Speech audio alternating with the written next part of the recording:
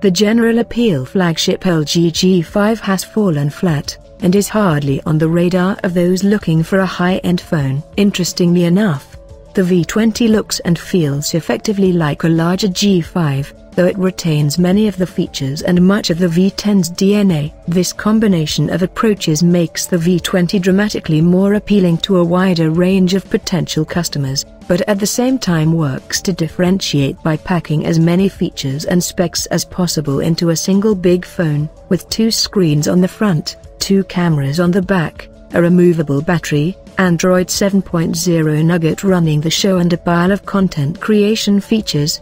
The V20 is quite a handful. The one area where the V20 doesn't differentiate from the V10 is in its sheer size. The one area where the V20 doesn't differentiate from the V10 is in its sheer size. The one area where the V20 doesn't differentiate from the V10 is in its sheer size.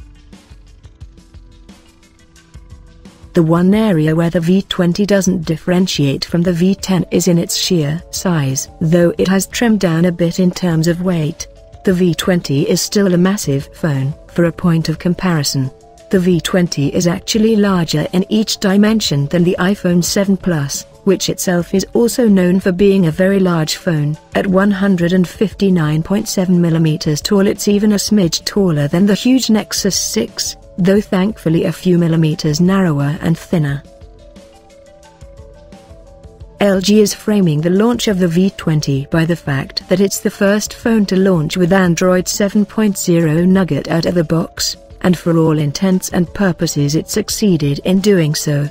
The phone launched in South Korea back at the end of September with the then latest version of the operating system mere days before Google unveiled the new Pixel and Pixel XL running Android 7.1, so, mission accomplished. Those of us buying in the US will technically be getting the second phone with Nougat preloaded as the Pixels have already started shipping and the LG V20 doesn't arrive in US carrier stores until October 28. This issue was mostly created by LG's release cadence, where it takes nearly two months after announced to get a phone out and on sale in the US, but it doesn't seem too keen to change that right now.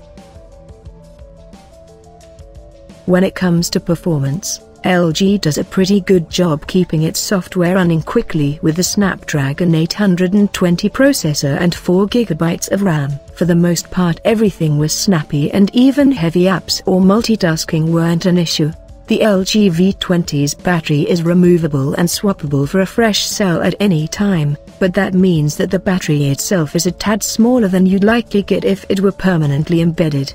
3200 mAh isn't that small, but given the fact that smaller phones like the Galaxy S7 Edge and Google Pixel XL manage to have 3600 and 3450 mAh batteries, respectively, it's clear there's a trade-off going on here.